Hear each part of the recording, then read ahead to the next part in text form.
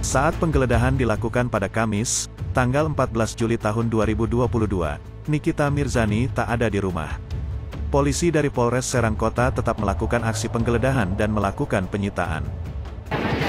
Berarti sampai saat ini belum tahu ya? Apa udah ada yang mengabari ada penggeledahan di sini nih kita? Belum. Belum ada yang mengabari. Artinya dia nggak tahu dong ada penggeledahan untuk Kapolresta Serang Kota AKBP Nugroho Arianto menjelaskan soal penggeledahan tersebut. Akhirnya polisi membeberkan soal penggeledahan yang dilakukan di rumah Nikita Mirzani.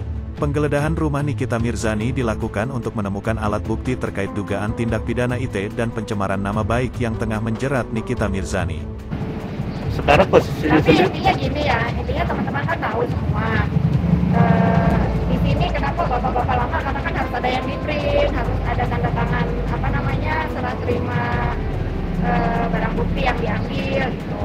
Jadi tadi sempat juga komunikasi. Eh, ya enak lah ngobrol lah. Bukan bukan hal yang harus dibesar-besarkan karena saya baca sendiri suratnya, saya baca dengan jelas, saya pelan-pelan baca. Tidak ada bunyinya untuk menangkap, hanya untuk mengambil eh, barang bukti.